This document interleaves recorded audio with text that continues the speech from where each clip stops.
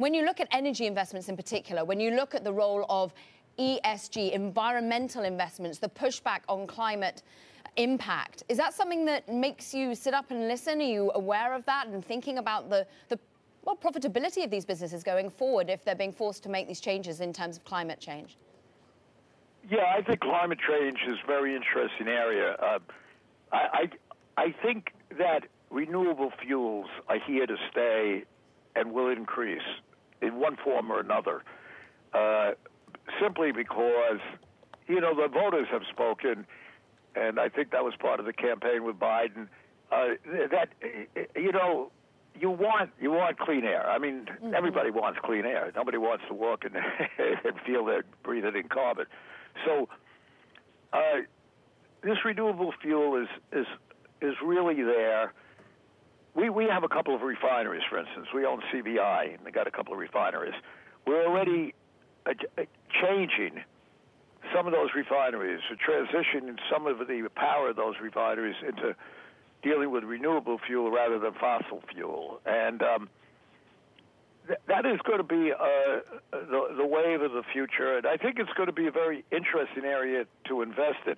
The refineries, interestingly and anti-intuitively, are in a, are, are not really in a bad position because of this. Because a refinery it is the it, it, it is the least costly way uh, to to build a renewable fuel plant. You know, a renewable fuel plants cost hundreds, if not billions, of dollars to do. And and but but if you have a refinery and, and it's in good shape and you have capital in it, uh, you, you know you have to have hydrogen to do this and whatever, so that you could you could do both. You you could you could transition part of it.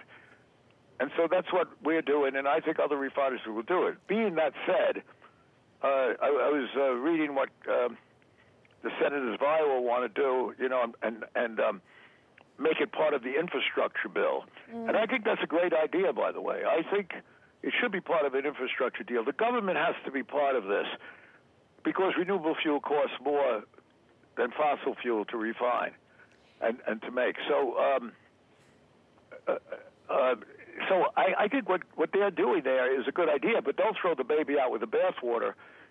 You should still keep – small refineries uh, are having problems. Real small refineries that don't have capital. You know, luckily, we have we have capital at, at uh, CVI, and and so we're a middle-sized refinery, I guess.